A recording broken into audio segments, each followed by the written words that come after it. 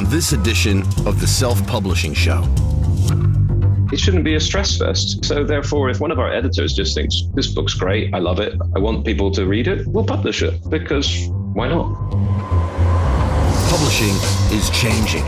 No more gatekeepers, no more barriers, no one standing between you and your readers. Do you want to make a living from your writing? Join indie bestseller Mark Dawson and first time author James Blatch as they shine a light on the secrets of self publishing success. This is the Self Publishing Show. There's never been a better time to be a writer. Hello, it is Friday, the 17th of December, very close to Christmas, and I'm all Christmased up. I'm James Blatch. I'm Mark Dawson. I'm not. I'm not Christmased up. I'm wearing a Joy Division T-shirt. You've got the most which- miserable band of all time with the ironic name Joy Division. Do you know why it's called Joy Division? No, I don't actually. I know you're a big, big fan of all that Well, Ian Curtis stuff. Joy Division is worth it's worth a quick Google. I'm just going to make sure I get my facts right. But um, Joy Division Should say, if you're not watching on YouTube, I'm wearing a ABBA Christmas jumper knitted by Bjorn and John Hurt, and you're wearing a Joy Division T-shirt. So yes, Joy Division. Um, this is from Wikipedia. To avoid confusion with the London punk band Warsaw Pakt, the band renamed themselves Joy Division in early 1978, borrowing the name from the sexual slavery ring wing of a Nazi concentration camp mentioned in the 1955 novel House of Dolls. So Fantastic. yes, it's it's it's a pretty grim, grim. name. Yeah, very grim. The whole thing is grim. Well, and a slightly grim, but also I think a nice note. Uh, a very good friend of ours has died, unfortunately, uh, in his sixties, very young, um, very suddenly. But he was a big uh, music fan. He and his son went to gigs all the time, and for his uh, for the wake, everyone has to wear their favourite band T-shirt, which I think is a really lovely thing to do for him. So it will probably be Pink Floyd for me. It'll be the Beatles or Pink Floyd, but I think probably I'll pull out Floyd because he was a bit of a Floyd guy as well. But um, Well, I, I- I, sus- I suspect there'll be some Joy Division there because they're just one of those bands, aren't they? That um, yeah, trendy absolutely. people like you like. Right? Yeah. Normally, I would um, at this point I would take the piss out of you for your music choices, but I won't on this occasion because I approve of both Pink Floyd and the Beatles. So you're you absolutely absolutely fine on either of those. Oh, good. Okay. Yes, you do have a go at me sometimes. Anyway, what about ABBA? I've got my ABBA. Oh no, no, I like ABBA. Yeah, everyone likes ABBA. Okay, look. Um, if you're not watching on YouTube, this all is meaningless. It's just two disembodied voices, but it is. Uh, it's our penultimate episode before Christmas. We have one going out on Christmas Eve. Uh, which I suspect you might listen to after Christmas. Who knows? Um, but we have some good, two very good interviews. So today is uh, a man who's pioneered indie publishing in the UK. The sort of uh, hybrid. In what do we call them? Hybrid publishers because you're sort of half indie. They have indie methodologies, but it is a publishing contract, and um, which is a different term use of the term hybrid and uh, Rachel McLean, who is a Kindle Storyteller Award winner for this year, and she does a very good interview next week about the specific steps that she's t- she took to get commercial success.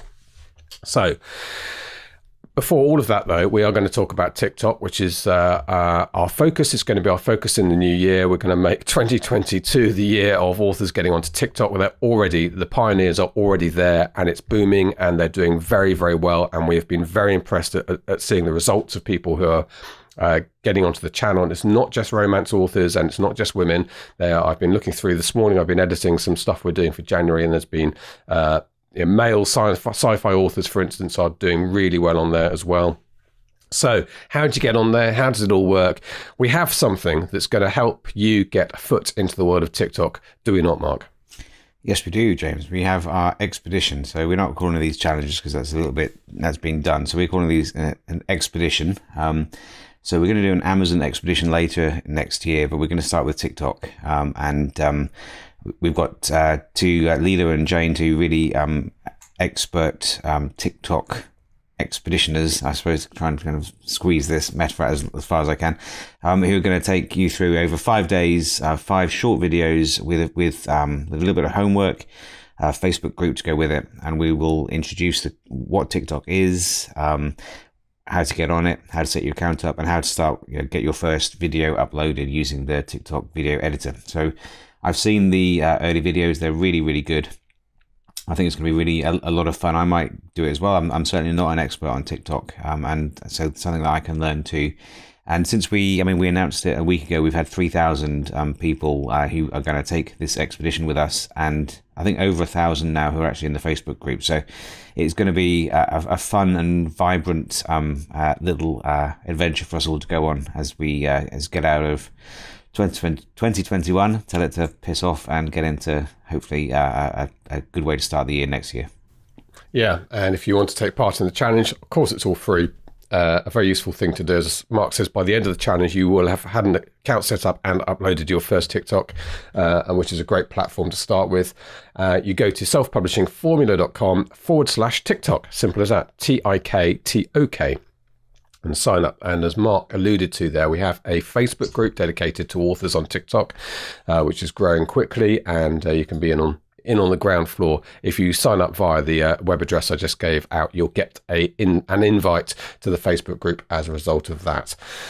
Um, good. Okay, I'm looking forward to it as well, and I think there's there's definite scope for the field that I'm in in military history. There's quite a few military history um, uh, accounts on there, not just in the BookTok world, which is like a hashtag, a world within TikTok, but uh, I can find. I think people like Should me will also- be able to find audience. Before I forget, we should also add the Ads for Authors course opens early January. I don't think we've compl- we have we have got a date, but it's early January. Um, and as a part of that, we're going to have um, a, a TikTok for Authors course, which if you are a, a member of the Ads for Authors course, you'll get that for free. Um, but it will be worth, you know, uh, it, will, it will take the expedition and, and put up to the next level. I think it's it's ten hours of content. I, I heard from Jane and Leela last night, so uh, James is going to be very busy editing that, and it's it's going to be really really good. So we'll have more on that as we as we open the uh, registration period up for ads next year.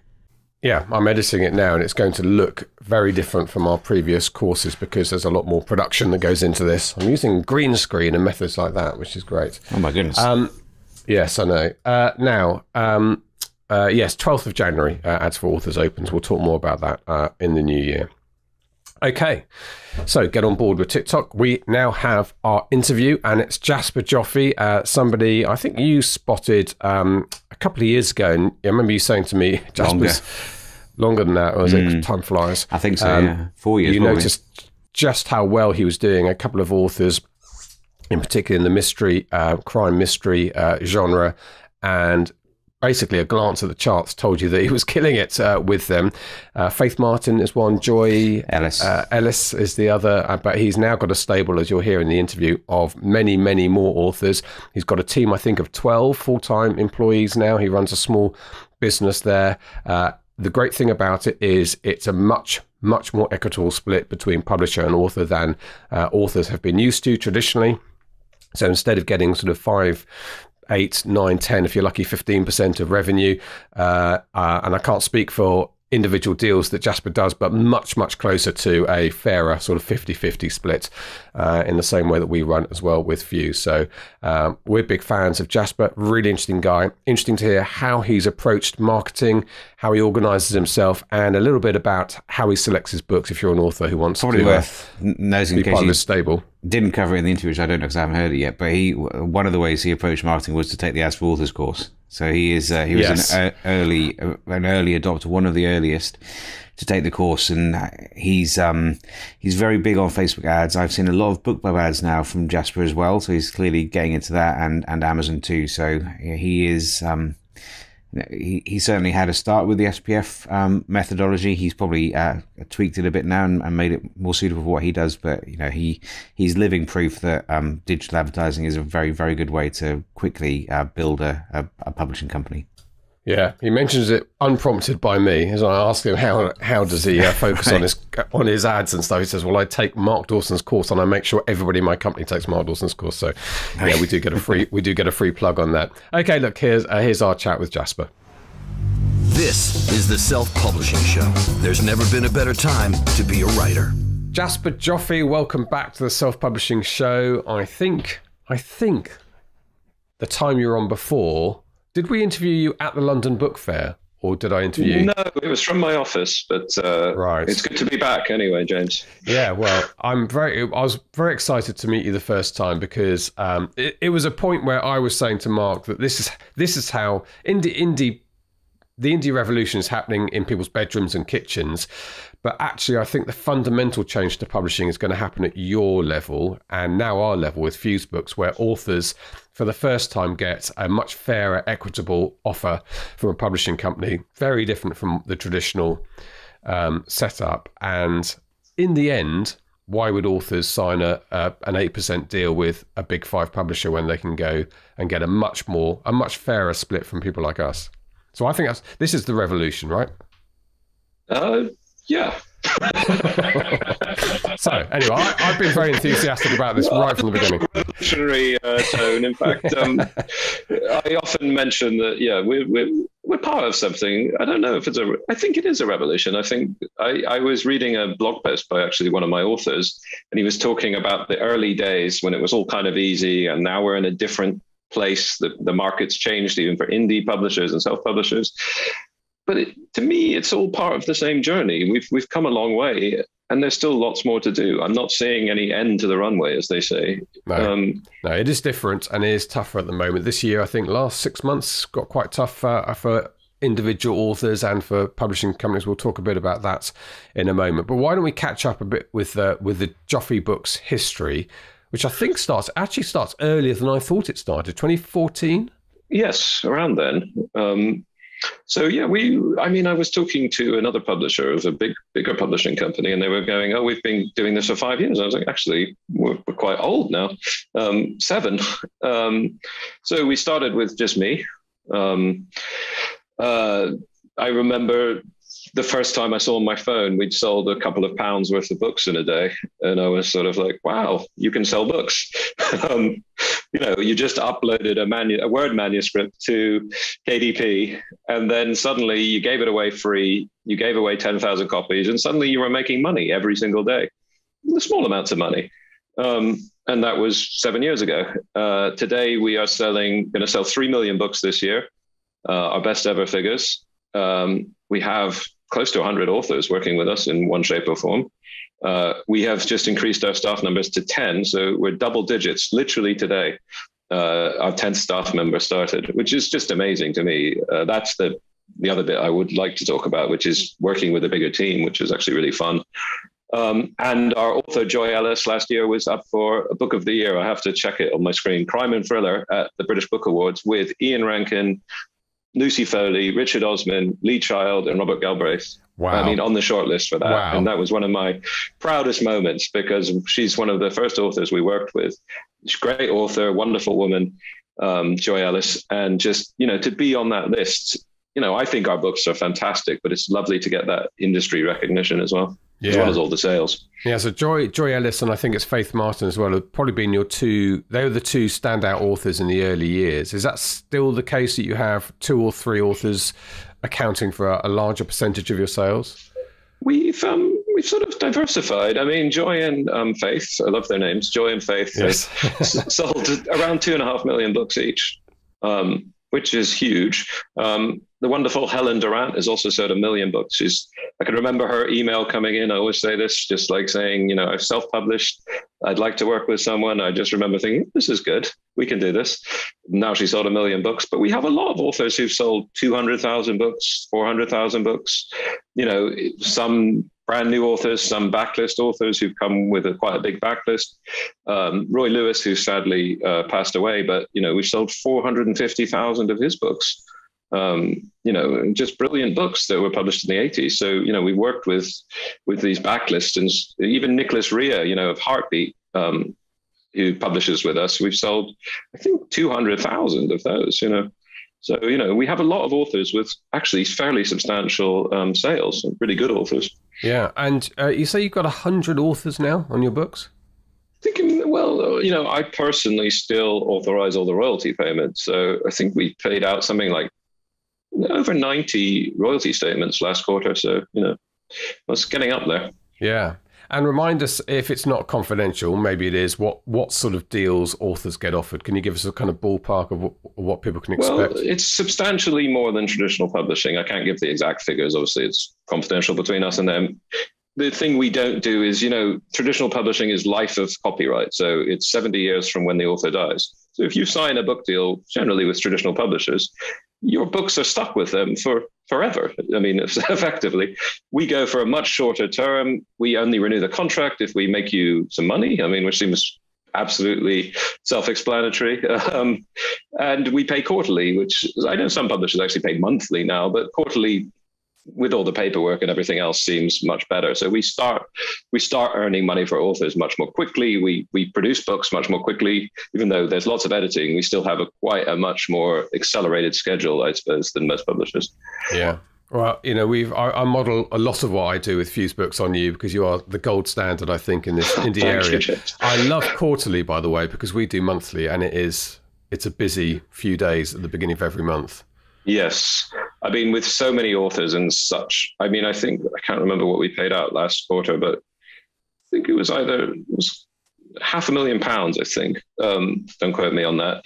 Uh, you know, if we paid out monthly, and then there's always something you know you have to like correct or you know like you know yeah. like it would just be we'd spend all our time doing paperwork uh, quarterly seems a fair uh, fair balance yeah um, if my authors are listening they're going no no monthly's much better james but uh, there you go we'll, uh, we'll, have to make well this is this is part of growing isn't it is, is making these decisions about uh, about structuring your workload so it's manageable. Um, so at the moment, I can get away with just putting in a hard day's graft on the first yeah. or second of the month. But I guess it got to the point, or, or things are getting to the point with you where you needed help. When did you take on your first person?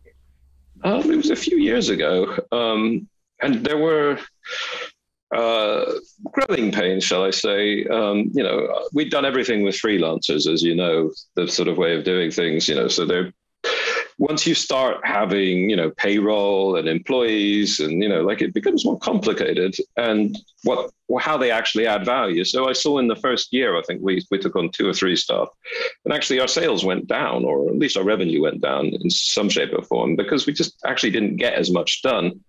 Um, and then i saw as as we got the right people in the right positions, we just we could do a lot more. Like, for example, entering our authors in competitions, going to um, events.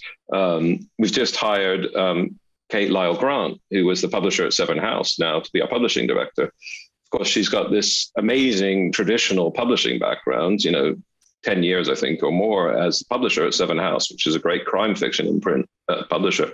Um, and now she's joined us and she goes to all the, she'll be going to all the events. She also has wonderful contacts with agents and authors who, you know, we've had, we've been flooded with submissions since she joined us. So there's a point where there's sort of growing pains of taking on stuff. And then there's a point where you can do a lot more. And we saw in the last year, our, our revenue and our, our what we could do just massively grew.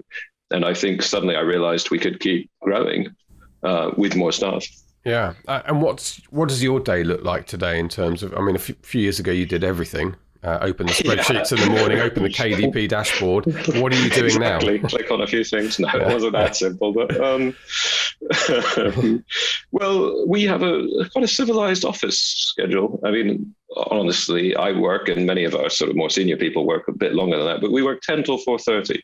Um, many of us have parental responsibilities or other kind of responsibilities. So no, it gives us gives us quite a um, a sort of flexible schedule, and we work half from the office, half from home. So I've got four people in the office. I've got our, our new marketing team in the office today. So there's three of them in the office. Um, so I have a morning meeting with everyone, just get things going, discuss the day's thing, you know, answer emails. So you know the usual, lots of emails, lots of strategic things. What's this? What this kind of more staff is enabling me to do is to think about what else we can do for our authors. Yeah. How else we can grow the company? What other opportunities there are? Because I still, I mean, I, I always sound like I've swallowed the Kool Aid, but I really do believe there is just so much we can do because we have, and we learn from your SPF a lot. We have all the kind of uh, agility and knowledge and like scrappiness of the self-published author.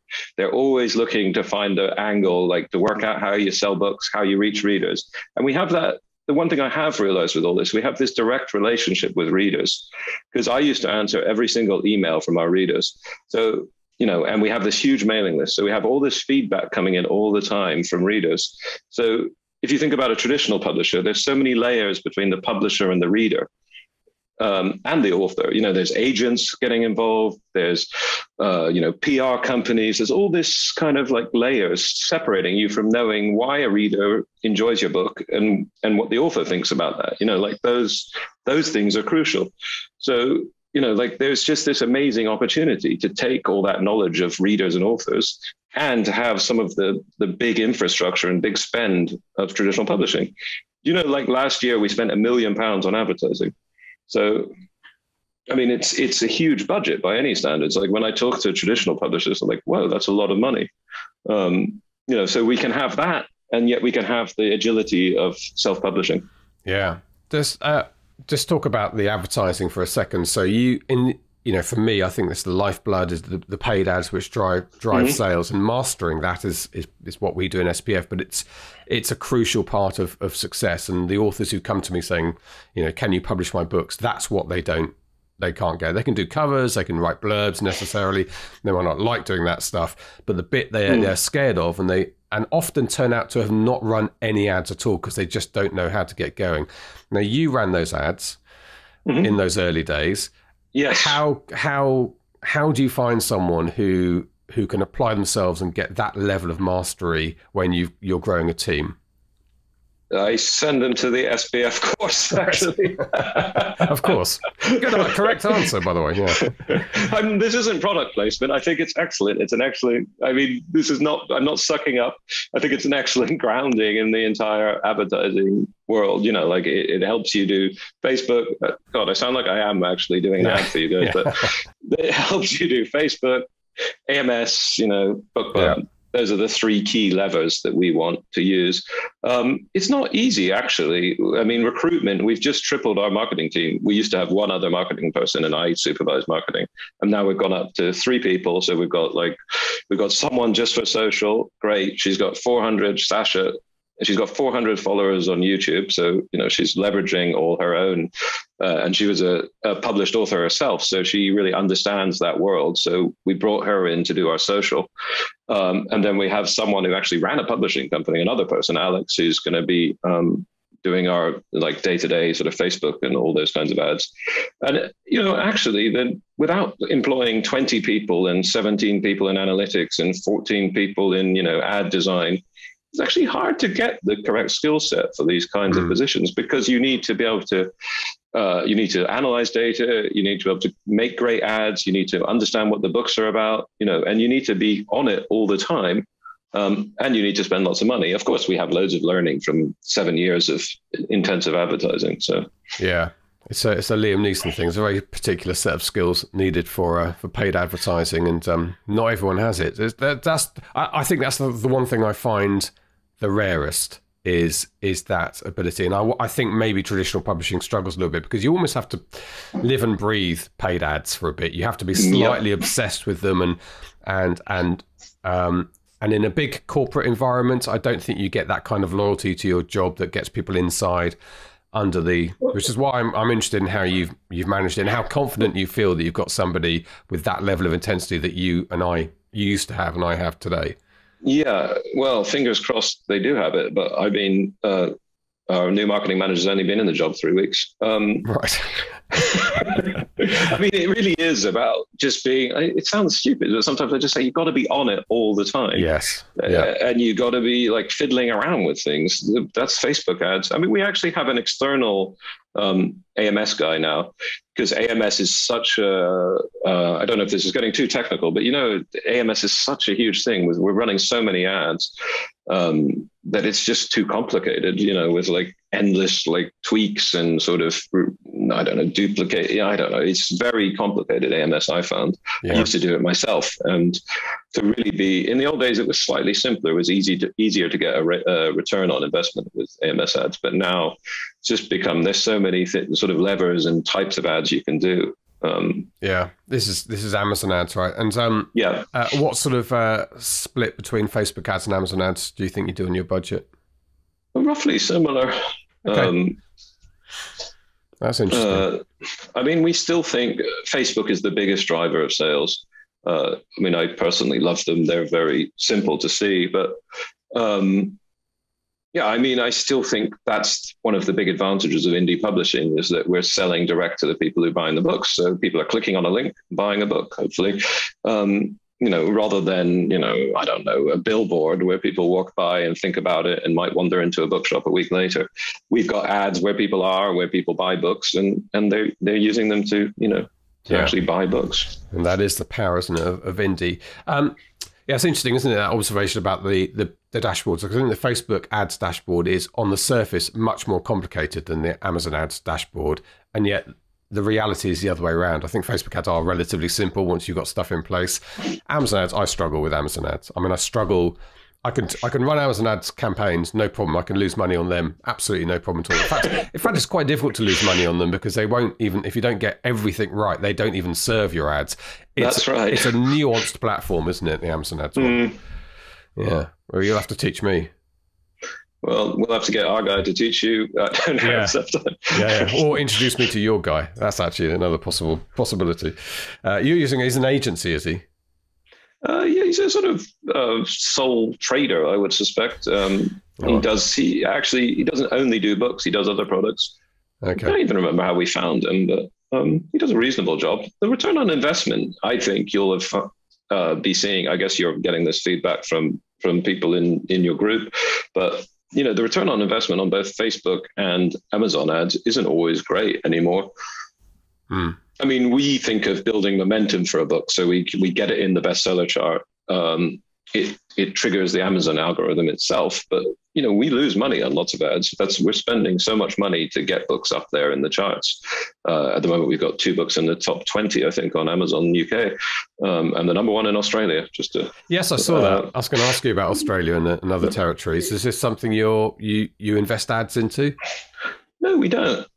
That's the weird thing about Australia. Um, I don't know if I'm getting too technical for your no, not audience. At all. This is a technical. Um, this is a technical podcast when it comes to ads. Okay, well that's fine. Um, I forget it's not a sort of infomercial for Joffe Books um, or, or, SPF, yeah, or SPF.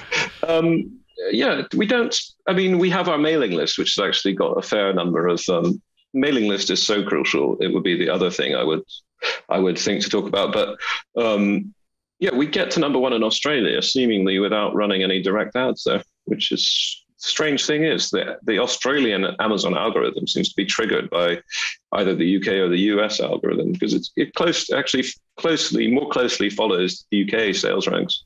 That's interesting. Um, mm.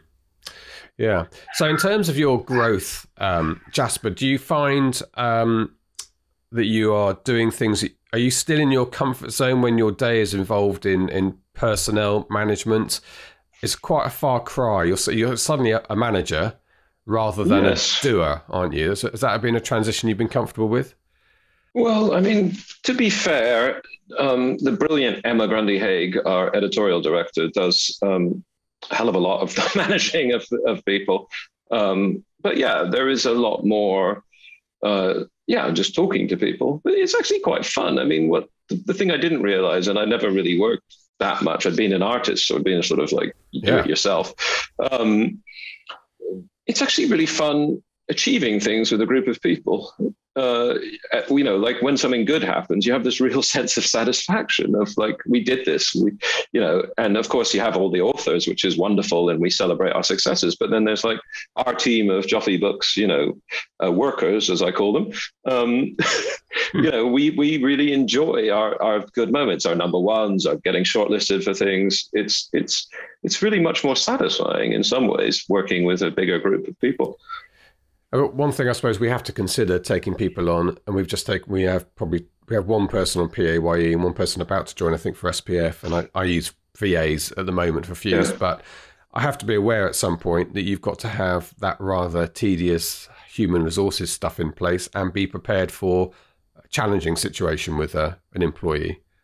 That's true. And um, that's something, you know, people are sick people have things go on in their lives you know you realize you have an obligation to people after you know like it's not just okay come and work for us and do this this and this. I mean obviously it's obvious but uh, you know like there are you have a responsibility to them and things happen to them and you sort of deal with things. You know we've introduced I don't know bereavement policies, for example, horrible thing to, to talk about, but you know we we have you know paid time off for those kinds of things we have mental health days was just introduced you know so people can just take a day off when they feel like they need a break you know we've hmm. extended mm. our holidays um, because you know we work really hard and it's very intense so there's all these kinds of aspects that i never even thought about really um, mm. and, and 10 to 4.30 you're going to be inundated by applications to work at Joffe Books after this uh, well, to be fair, I have to say people do work longer than that, but those Yeah. are the set hours here. Yeah. Um, Clever.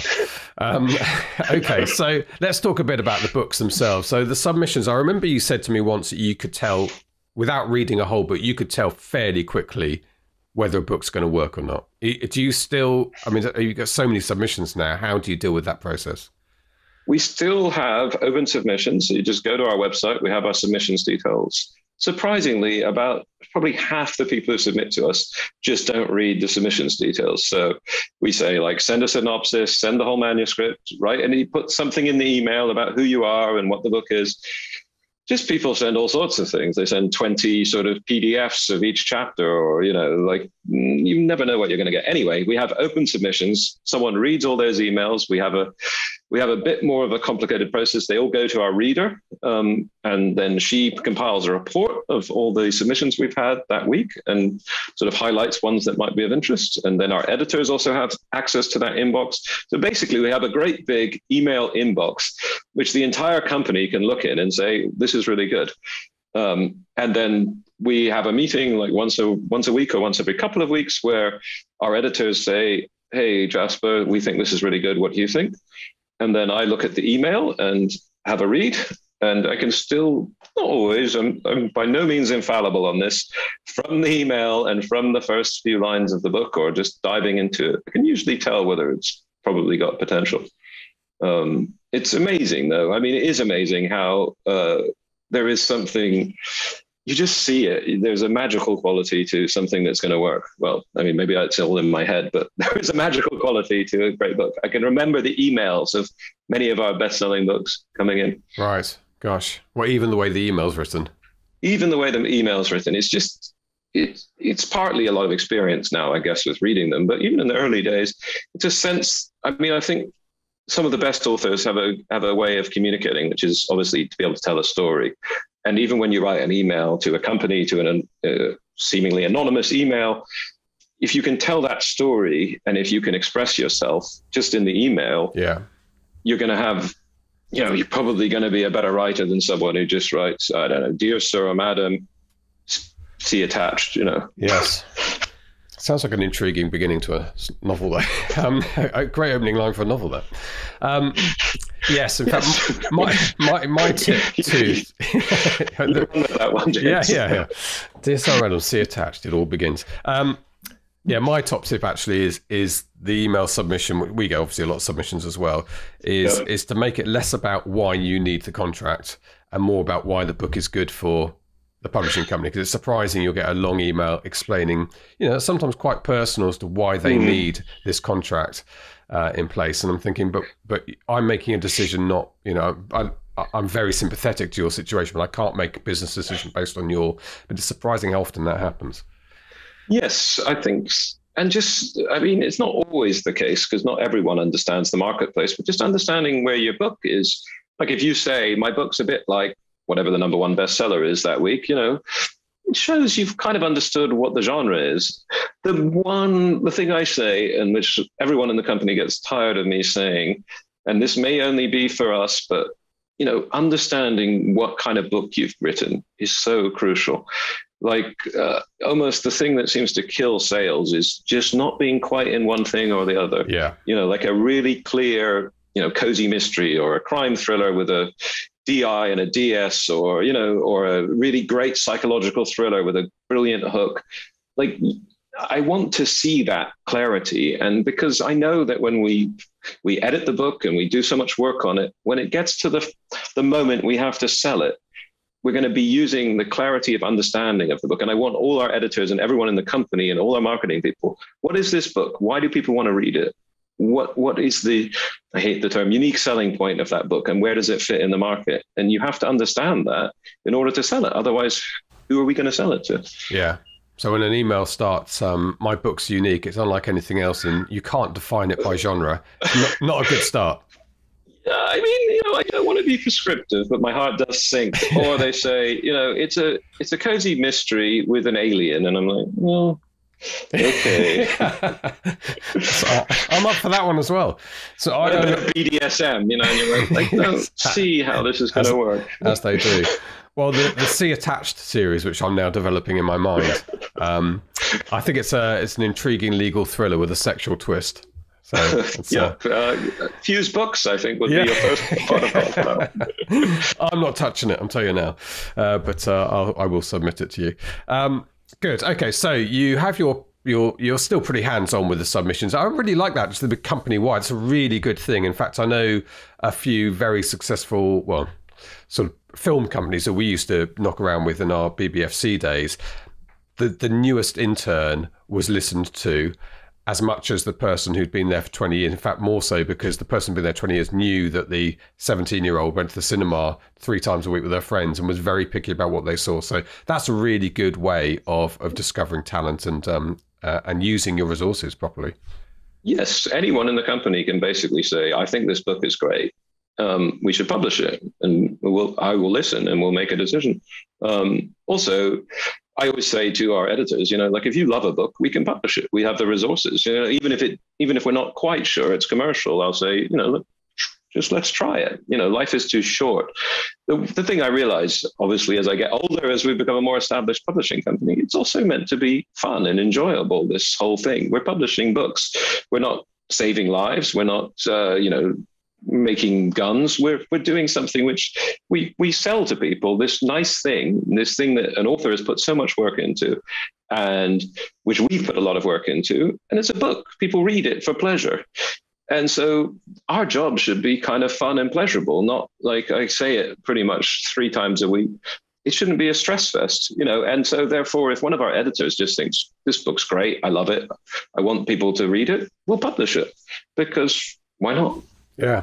Now, what about other formats, Jasper? In your contract, do you cover audiobooks and hardbacks and print on demand and so on? We do. It depends on the author. Um, if if the author wants us to cover those rights, we I think I may have told you this in the past. We have a brilliant like sub rights agent called Lorella Belli who goes to all the book fairs and knows everyone and sells our rights where we have them. Um, we will go with pretty much all rights because we can sell them on behalf of the authors, or we will go for less if they have an agent, for example, themselves, or they have some way of selling those rights. I always say to people, like, you can have 100% of like all your rights and not make any money from them, or you can you can share them with us, and you know we can all do all right.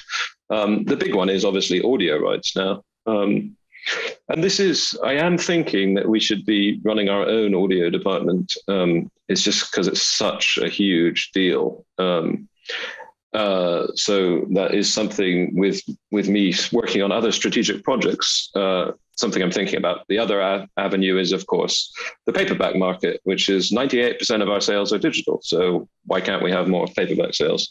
These are the two big areas, audio and paperback, which I'm I'm really excited about. Yeah, and, and do you mean moving beyond the print on demand alongside the ebook on Amazon, to trying to get your paperbacks in in high street, high street yes. shops? Um, I I think our authors are fantastic. That we know that people love them.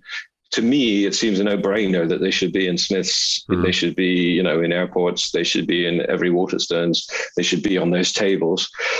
The, the, truth is, and I've spoken to a lot of people about this, it's actually really hard to get get them in there. You know, we we're willing to spend the money, we're willing to do the distribution, but it's very still very old school is how I would describe it, how that works. And it's very long lead times. It's complicated.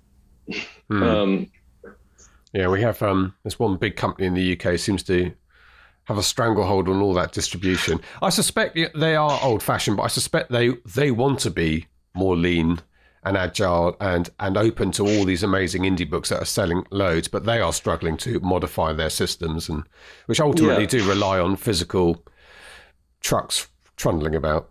Yeah, you have to store some paper in a warehouse. You have to deliver it to a bookshop. You have to do that months in advance. If the people don't buy the books, they have to be returned to the warehouse, and then yeah. some more accounts have to be done. But I still just think if people like, it's not that different. You know, people love books. They love a book, whether it's on, doesn't matter what format it is. They read it, they listen to it, they buy it in a bookshop. And to me, we have all these authors who are selling millions of copies. So presumably, if someone found them in a bookshop, they would also buy the book because they're really good. And we know that people like them. Um, I don't get that. So there must be some sales in bookshops that we're, we could get. Yeah, definitely. Um, and George, just going back to the audiobooks, that you talk about potentially setting up something in house. You talk about setting up a production facility in house. I don't think we want to produce audiobooks. I've, I do follow all of your uh, kind of things with these, and it looks complicated to me. Mm. I think there are people who are better at producing audiobooks. What I do think is we can sell the audiobooks because, you know, effectively audio is a digital product. People are buying it from their computer, from their phone, from whatever device they are on. And we're very good at selling digital products. So my thought is we work with another company. I don't know why I'm telling you this, but all right, fine. I'm telling everyone this. Doesn't matter. um, well, it's just an idea. I, I, yeah. yeah. it's just an idea. We are in talks, but uh, I say we work with another company. We create a Joffe Books audio imprint, and then we use our marketing skills and our marketing team to to push the sales of those. It's complicated because of Audible, actually, because the Audible platform is quite self-contained and it's most of the audiobook market. Um, and it's actually quite hard to advertise. I mean, I do read a lot about this. It's quite hard to advertise directly into Audible, if you see what I mean. Yeah. Is this getting too technical? But no, yeah, no, no. You can't get too technical for this particular podcast. But yes, so I'm. But I do think essentially we are great at digital. So audio effectively is a digital product. Um, so would, would so, you ha- would you develop your own player? For people? I mean, I know a few no, people are doing we this. Just, but... We would just be the publisher in a more. At the moment, we sell lots of rights in our audiobooks to other companies. Like oh, we okay, sell to yeah. Audible, or we yeah. sell to Findaway, or you know, Tantor. I think we should be the publisher yeah. uh, of the book with someone else, and then be the ones sort of like because every time you every time you have another player in the line of rights, they take a chunk of the money, if you see what I mean. Chunk of yes. our author's money, chunk of our money, and they do a good job. But I think we should be marketing directly our own audiobooks to through the major platforms, if you yeah. see what I mean. Yeah, that makes complete sense. Well, I think I'm going to do that with my own audiobook. I'm not, you know, as far as possible, uh, which has been recorded this month, which is great. Um, Okay, let's talk about from an author perspective, uh, Jasper. So when when authors come to you, one of the things that we do at Fuse is I, am terrified of letting authors down. So I don't want to take on somebody's books if I think they can make more money themselves or even the same money themselves. It'd be yeah. point, pointless them coming to me. So I'm quite interested in what they've done in the past in terms of marketing and uh, what I need to see there is a failed marketing history and, and an inability to market before I'm prepared to take that, as well as the book being brilliant. Uh, yes. Take it on. Do you have a same sort of conversation with authors? Do authors come to you and you, you sometimes say to them, you know, you, you should be doing this yourself because you're going to be basically handing us a percentage of your income? Yes. Yeah, I mean, I sometimes joke that if there's terrible covers when if they've self-published, I'm like, great, they're terrible yes. covers. So yes. there's a lot we can add, even if the blurb's awful. I'm like, yeah, there's we can do this. Yeah. Or they've got like titles. I mean, sometimes we change the titles and they got the world's worst titles, and you're like, you know, just give it a, a title vaguely within the genre and a cover that's not like made on, you know, I don't know, paint or whatever. yeah. so yeah, the world, the worse the marketing, the better upside there is. Um, you know, the, the thing you really do realize in the long term working with authors is some of them love being in control of everything. It's about control. Um, they want to be doing those bits and pieces. They might not be better at it, but they, they it's enjoyable for them to do it. Um, but you can never see a book from the inside the way i mean unless you're a genius i think there are some genius self-published authors who really do understand their audience and they have such a great relationship with them that there's nothing we could add. But many authors they don't see their book from the outside. I, I do always say this because it is actually really important. They think of their book and they think of all the work and the, all the hours of writing. And then when they're trying to market it they can't see what the book looks like to other people and what other people might like about it um, and that goes through from cover to blurb to editorial, you know, because we are we are looking at you know, what's it gonna what's the final book gonna be like? How do we make it as good as possible? And it's an immense, it is a huge responsibility. And when you said that, that really resonated. You know, I don't want to, you know, it's someone's work. It's someone's, it's, you know, like it's a year's worth of work you're you're dealing with. You have to you know, like it's, it's, it's, something you have to really respect. Um, and you, you don't want it just to sell five copies after all that work um, for them and for you. Yeah. Um, yeah, no, I, I, think you're absolutely right about that. Uh, that difficulty of, of of being unemotional, seeing it as a product effectively, and it's um, hmm. there needs to be a word for this because it's something we talk about a lot, and I, it's quite difficult to put it into words. But that you know, when you stop writing, if you want to talk about writing in the morning and marketing in the afternoon, of treating your afternoon business as if they're not your books. Um, yes, and I think Mark is one of Mark's secrets is he's always done that. He doesn't he doesn't feel emotionally slavish to his books. But I speak to authors all the time, as you do, who who will say, "Well, the color of the the color of the hair on the front cover is not quite how I see my character." yes. And you think, well, this, this is irrelevant to selling your book, and actually will cost you sales, and they can't yes. can't see that, and um, it is difficult. Yes, so like the location of the book is actually 50 meters down the road. Yeah, and, exactly. And you're like, well, I think this image is probably going to have more appeal. And I always say to people before they buy the book, they haven't read it. Yeah. So and they won't look at the cover again, probably. In this day and age with yes. ebooks, you look at the cover for one and a half seconds when you buy the ebook, you never see it again. Yes, and you're not going to be like, oh, well, the woman's hair or the background or that guy was wearing a brown Macintosh, not the green one. You know, yeah. I've had all these conversations, um, but yeah, but there's a trick, and this is a real good takeaway from this interview for for people, you and me, who market other people's books. It's it's much easier for us, and and we one of the reasons we can be effective about marketing is because we're not emotionally tied or, or we don't have that complexity of being in the middle of the woods. If you can stand outside the woods and treat your book, your book, as a product, you've mm. given yourself a massive advantage, I think. I think so. I mean, I think it does also apply to editorial because I know many self-published authors do have, you know, freelance editors doing lots of work on their book, and sometimes they're the same editors we use because we do use freelance editors. Um, However, there's a difference between a freelance editor working for us and for you directly. They're less likely to be like, change this, do this, make this better, because effectively they're going to lose their if you if, they, if you don't like them and you, are you're employing them you're going to get rid of them. But we say to our editors make the book as good as you can. Intervene as much as you can to make the book better and we can say that because we're the publisher but if you're the author employing them it's a slightly different relationship. Um, you know because they're they're supplying a service to you effectively at that point. And of course i'm sure there's some really good editors who do have amazing relationships. I know that with their authors. But i think as that that external objective feel about the book is so important not just in marketing also in editorial. Yeah i suppose that's that balance between you wanting to tell this story and sometimes that's a personal thing um, and why are you why are you writing this book? You're writing it for commercial reasons. So listen yes. to that side of it. And don't just put in like everything you happen to be interested in that week. I do find that sometimes, you know, like sometimes the writer's really good, but they have a particular interest, I don't know, in seagulls. And you get a lot of descriptions of seagulls. Mm and you're like, well, the general reader maybe wants one expert opinion on seagulls, but not, you know, pages on seagulls. So, you know, maybe we can cut that out. I'm making notes for my sea attachment series, which uh, I'm, I'm, was, was yeah, quite... seagull. One seagull mention is one fine. seagull. One seagull per chapter, maybe. Yeah, might be pushing it. Um, uh, what percentage of your books are are written for Joffe books, and what percentage are have been previously published uh, when the author comes to you? I think probably more than well, because we we do acquire quite a lot of backlists now. I mean, you know, we bought an entire company. Uh, well, basically, their their backlist a while ago. Uh, Robert Hale books. So we bought 300 books there. So we that took us a while to publish all of those books. Um, so I, more than 50% are new, you know, brand okay. new. Hmm. But we don't see, uh, you know, again, if you're in my company, you probably hear me say this. I don't see a book as backlist. I just see it as a book someone hasn't read before, yes. which is my catchphrase. But it's true. If you haven't read the book before, it's new to you. And you are like, wow, there's this new book and it's about this. And we market every book as though it's new because for the 99% of people who haven't bought that book, it is brand new. It's just a book you haven't read.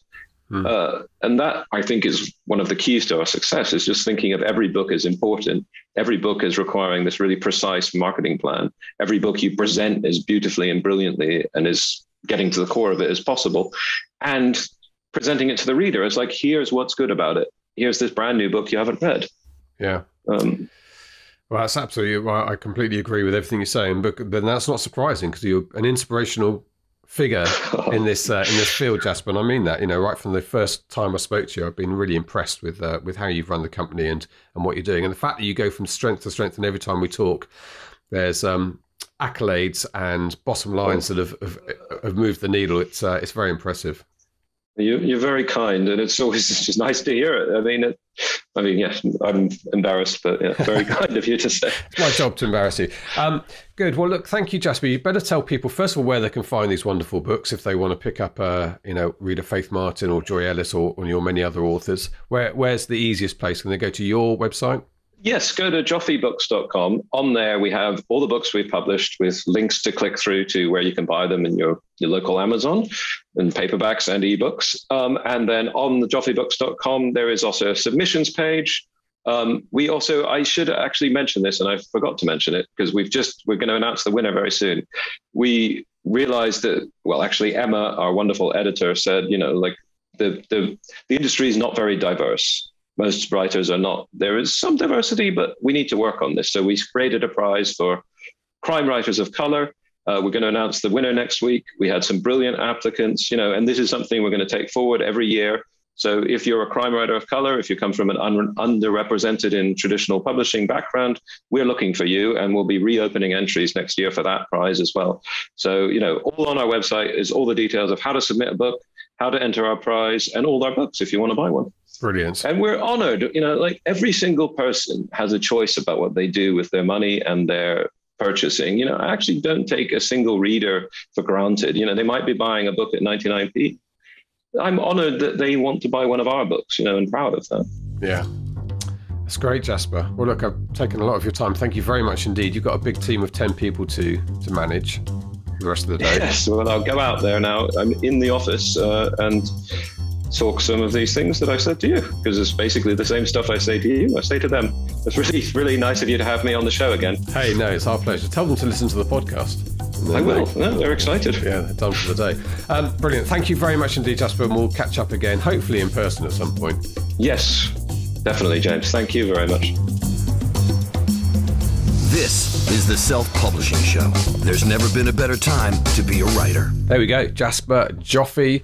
Uh, toiling away there in Shoreditch, trendy Shoreditch uh, in London, and an inspiration for us at Fuse Books as well. So, um, uh, the way ahead, Mark, as an old broken record, me, isn't it, going on about this? But I do think this is the way publishing is changing. The two parts of it will be indie authors in their pajamas in their bedroom, building their their fortunes that way, uh, their commercial businesses, and the other half of it will be organisations like Jasper's uh, Joffe Books and Fuse Books, our own, and and um, that's what she said. That Lucy, Lucy and her partner Tim run in the states and so on, taking over from those big trads and starting to dominate the um, uh, the online stores and now the physical stores. We didn't talk actually a lot about physical books. I'm not sure if I talked about it at all with Jasper, but that's an interesting area. It's, it's certainly slowly becoming more accessible to to independent authors like yourself and Louise Ross and others. I'm starting to see your books uh, much more often than, than I did. Well, didn't see them at all maybe four or five years ago. No, you wouldn't have seen them at all. No, so um, um yeah, got a three Milton books out. Well, third one will be out next year. We've got the the kids book, which I'm working on at the moment. The launch for that is going to be great fun. I've got a fantastic trailer. I've not shared it with anybody yet, but the the book trailer for that is absolutely out of this world. So I'm really looking forward to getting going with that, and and that will be. I saw the um I spoke to Welbeck the other day, and it's going to be in Smiths. It'll be in Waterstones. Uh, I think Tesco's are interested in taking some as well. So that'll These be are fun. the big U- UK stores. yeah, WH Smiths is, is a is a big bookseller. Waterstones is probably the biggest kind of dedicated bookseller. Um, and I've never had any books in there before, so they're they're a little bit difficult to, to crack for the in the kind of the crime the kind of crime genre. But kids, they're they're, they're a big seller, so it's going to be fun to see that. And, and we've got a a fairly fun um, plan to get books into into indie stores as well. Um, mm. A little competition for the in, indie booksellers to, to get them to prominently feature the book. So, yeah, looking forward to that. January's going to be quite a busy month. Well, you have to uh, post that video into the Facebook community at some point. I'd have Once it's clear, cleared and paid for, yeah, absolutely. The, it is fantastic. really, really good. And circling back to TikTok, that's one of the uh, one of the ways that you know TikTok is unlike some of the other social media platforms is selling books for authors is the fact that at Barnes and Noble they often have a table on the inside as you walk in saying you mm. saw this on TikTok. Yeah, um, you, book, yeah. you saw this on BookTok, so that's really a, a good sign. Uh, just a reminder then, if you want to take part in that TikTok challenge, if you go to selfpublishingformula.com forward slash TikTok and sign up, you'll be invited into a dedicated Facebook group and you will start to receive video instruction on the five steps that we're all going to take together to set up our accounts and post our first videos in the new year. What a great news resolution to have. Good. You look like you're poised to say something, or are you not? No, no, I'm, okay. I'm done. Okay, you're done. You're spent. Okay, well, that's it. Thank you very much indeed, Mark. Thank you to our guest, guest Jasper. Thank you to the team in the background who bring this uh, podcast to life every week. And thank you to you for listening. All that reminds me, all that remains for me to say, I should say, is this a goodbye from him? And dear listener, it's a goodbye from me. Goodbye. Goodbye. Get show notes, the podcast archive, and free resources to boost your writing career at selfpublishingshow.com. Join our thriving Facebook group at selfpublishingshow.com forward slash Facebook. Support the show at patreon.com forward slash self publishing show. And join us next week for more help and inspiration so that you can make your mark as a successful indie author. Publishing is changing, so get your words into the world and join the revolution with the Self Publishing Show.